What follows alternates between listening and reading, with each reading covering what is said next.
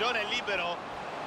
Cambia dunque il risultato col gol del vantaggio. Adesso ovviamente